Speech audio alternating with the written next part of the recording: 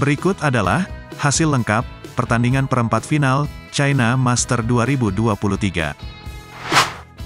Di perempat final ganda putra, Pramudia Kusumawardana, Yeremia Erik Yoce Yakob Rambitan, harus kalah dari ganda putra China, Chen Boyang, Liu Yi, dengan skor 19-21 dan 19-21 dalam durasi 52 menit.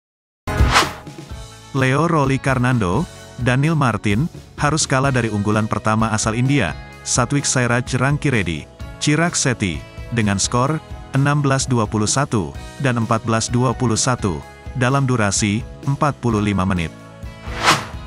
He Jiting, Ren Xiangyu, berhasil mengalahkan sesama wakil China, Liu Yuchen, Ou Xuanyi, dengan skor 21-15 dan 21-15 dalam durasi 36 menit.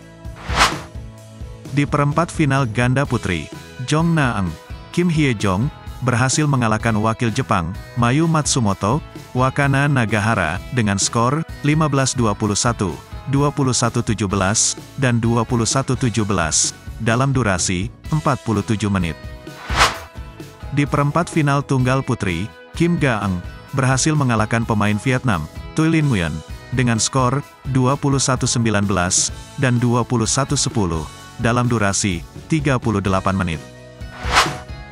Chen Yufei, berhasil melaju ke semifinal, setelah lawannya, He Bingjiao, memutuskan retired, saat di game ketiga, dengan kedudukan skor 4-5. Di pertandingan lainnya, Liang Weikong, Wang Chang, berhasil mengalahkan wakil Chinese Taipei, Liang, Wang Chilin, dengan skor 17-21, 21-13, dan 21-15.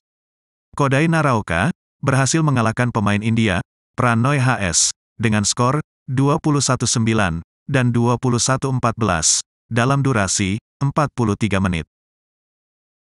Kanta Suneyama berhasil mengalahkan pemain Perancis, Christo Popov, dengan skor 21-18 dan 21-19 dalam durasi 1 jam 6 menit. Dan Nami Matsuyama, Chiharu Shida, berhasil mengalahkan unggulan kedua asal Korea, Baik Hana, Lee Sohee, dengan skor 21-16 dan 21-17 dalam durasi 56 menit. Berikut adalah hasil lengkap pertandingan perempat final China Master 2023 sesi pertama.